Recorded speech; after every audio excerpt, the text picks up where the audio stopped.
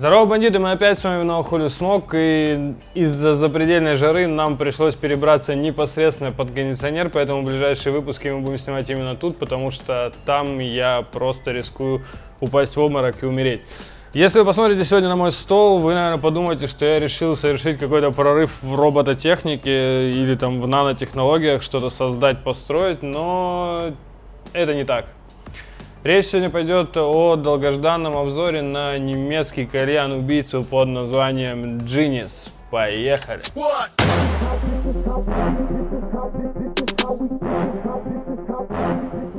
Итак, поехали, все по плану. В очередной раз кальян у нас в разобранном виде, мы его собираем, смотрим, еще он сделан, как тут все устроено, ставим его на нашу колбу, возгружаем чашку и начинаем пробовать делиться впечатлениями. Поехали собирать кальян.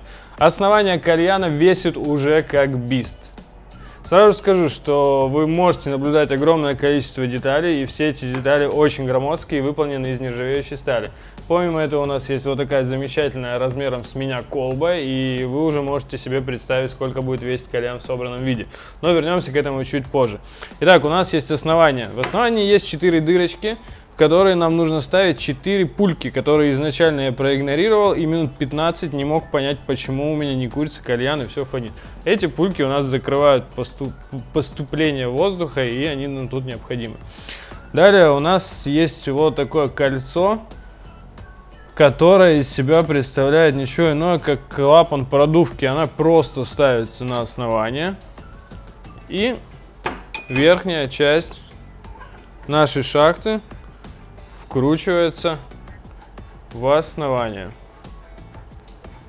Соответственно, когда мы ее сейчас вкрутим, она просто прижмет клапан продувки и все будет стоять довольно-таки четко. Сразу же скажу, что это очередной немецкий продукт, который целиком и полностью подтверждает свое происхождение. Сразу же скажу, чтобы к этому не возвращаться, то что все сделано идеально четко, все выточено идеально четко, все резьбы идеально садятся друг на друга.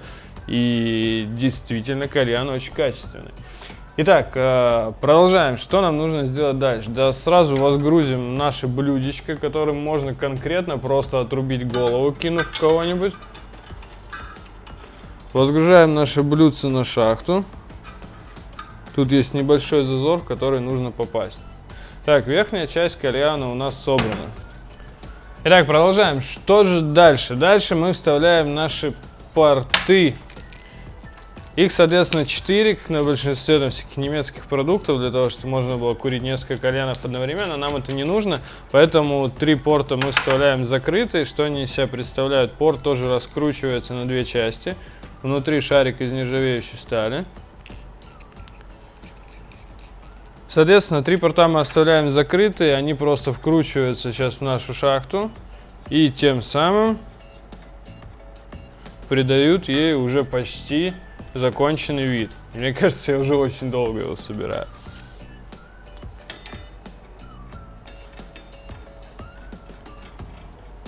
Вкручиваем наши порты и один. Все верно, да, один мы оставляем без шарика.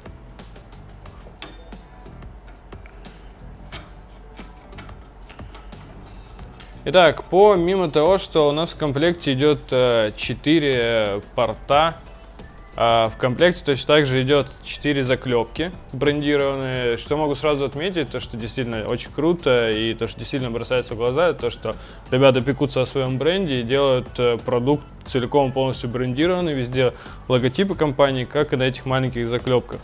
Итак, заклепки у нас просто вставляются на поршневом механизме в наши порты и придают им такой вот вид. Это действительно все очень замечательно и круто. Я, наверное, чуть в дальнейшем уже, сейчас, когда буду вставлять шланг, расскажу о том, что мне запредельно понравилось да, в кальяне. А сейчас мы его закончим собирать, все-таки возгрузим на него чашечку и уже начнем курить, да дальше обсуждать. Итак, э, Диффузор. Диффузор абсолютно закрытый снизу, не такой, как, к примеру, там у Мэтпира с дыркой в основании. Целиком закрытый снизу, тоже брендирован, это неплохо. А, все тактильно очень приятно, все идеально вкручивается на резьбах.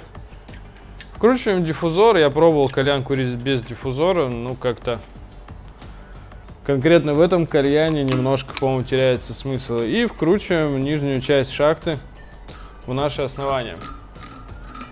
Итак, кальян в собранном состоянии, кальян довольно-таки тяжело держать уже сейчас. И мы возгружаем наш кальян в колбу, но я должен вам показать это. Для того, чтобы возгрузить кальян в нашу колбу, нам достаточно просто сделать следующим образом. И колба в очередной раз на поршневом каком-то механизме неизвестном, магия какая-то, просто берет и защелкивается. Для того, чтобы достать колбу, нам нужно опустить ее нижнюю часть. Там есть шарики, которые разъезжаются, и колба без проблем достается.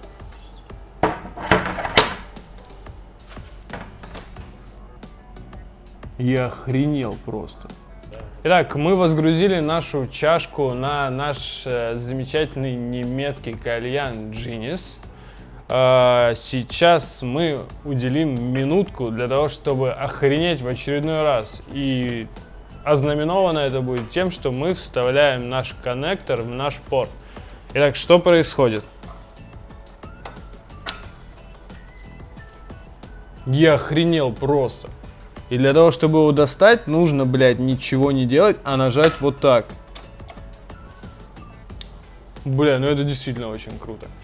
А, действительно, даже в дальнейшем, если выкинуть следующую часть блога, если мне запредельно сейчас не понравится, как он курится, если он не доставит мне никаких положительных впечатлений, а, я уже сейчас готов заключить то, что кальян Джинист кальян немецкого производства, это, наверное, верхушка кальянной инженерной мысли. Действительно, кальян смотрится очень круто, действительно, кальян сделан очень круто, и действительно, ребята в натуре подумали, как это все реализовать и сделать. А, как же кальян курица и что он из себя представляет в собранном виде, мы обсудим уже сейчас. Ну что, начинаем пробовать кальян, да рассказывать о своих впечатлениях э, от его курения, о его стоимости, о его еще нескольких небольших фишечках. Короче, продолжаем. А, делаю первую тягу и, с вашего позволения, буду дальше уже курить и рассказывать.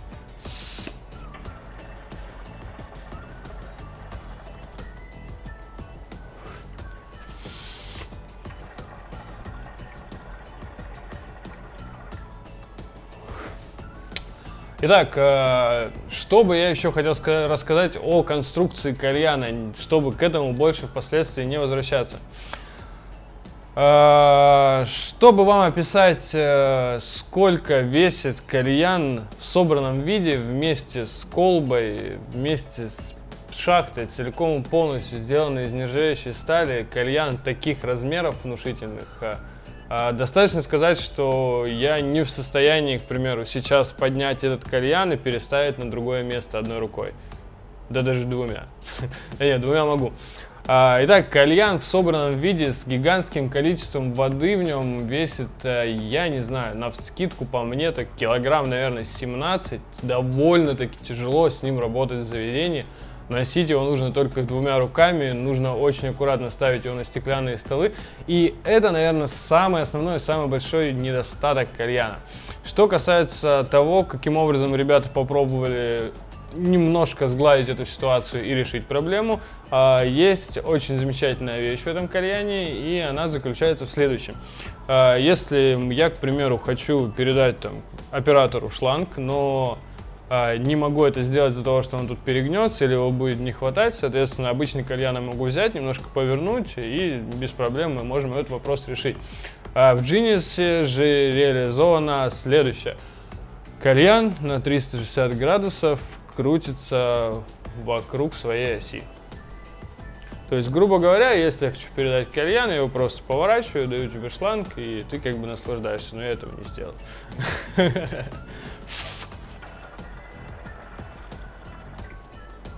Итак, поехали. Что касается курения. Тяга.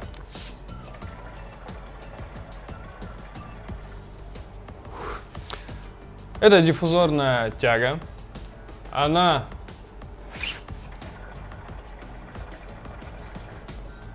слишком бесшумная, если наливать в кальян чуть меньше воды, а точнее наливать воды столько, сколько, скорее всего, правильно было бы налить. Я воды налил чуть-чуть больше, для того, чтобы тяга у меня была больше похожа на классическую.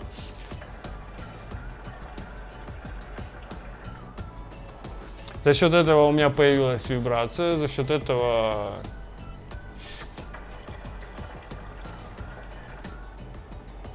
За счет этого я однозначно получаю больше положительных эмоций от курения кальяна.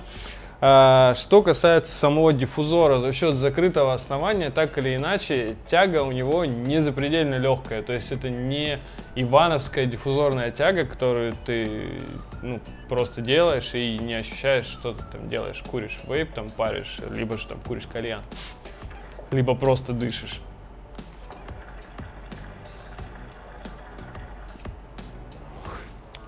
Ладно.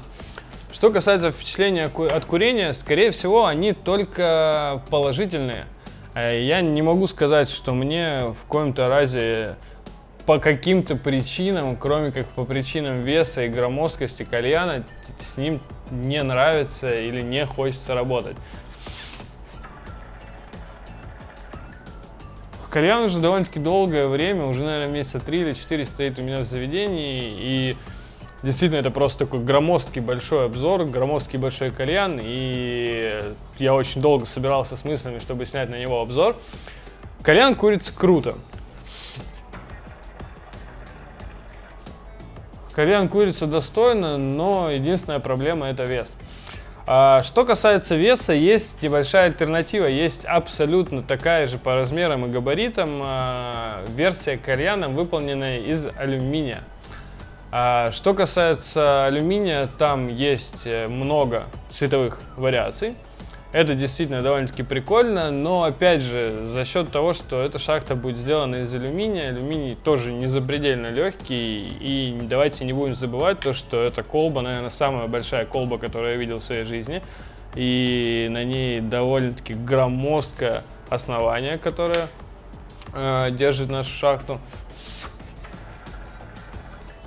И так или иначе, кальян легким не получится. Кальян я все равно буду более чем уверен, что будет весить довольно-таки много. И да, мне он нравится, да, мне нравится, что он стоит у меня в заведении. Да, возможно, я поставил себе этот кальян дома, но я просто знаю, насколько я ленивая задница, и если бы у меня стоял рядом какой-нибудь там Мэтт Пир и Джинис, скорее всего, там а 4 раза из 5 я бы делал себе именно мэтпир, потому что мне проще там взять одной рукой, там набрать воду, вставить шахту и пойти его курить. Тут же все сложнее, тут действительно процесс приготовления кальяна, процесс там набора воды, его транспортировки превращается в небольшую, но тем не менее проблему. Проблемы нам в работе не нужны, поэтому это действительно самый основной минус, который есть в продукте. Итак, что стоит еще сказать по поводу немецкого кальяна Genius? Поговорим о цене. Ценник э, розничный в Германии составляет порядка 350 евро. Это немалые деньги. Помимо этого, он довольно-таки внушительный и придется довольно-таки весомую сумму выложить за его транспортировку в Россию. Тем не менее, кальян, которым действительно можно удивить, кальян, который действительно пользуется спросом в заведении, и люди, которые хотят попробовать что-то новое, очень часто просят, чтобы использовал при забивке я именно его. И, скорее всего, кальян своих денег стоит, если, опять же, обратиться к тому, что это нержавеющая сталь, что это вечный продукт, что это действительно проработанный до мелочей немецкий продукт, который, ну, действительно вызывает только положительные впечатления, не вызывает никаких проблем, кроме своего веса и громоздкости. А, скорее всего, ценник оправданный, и помимо этого нужно заметить, что почему-то алюминиевая версия кальяна стоит э, абсолютно столько же, сколько стоит версия из нержавеющей стали. Вопрос, кстати, к нашим производителям. Почему?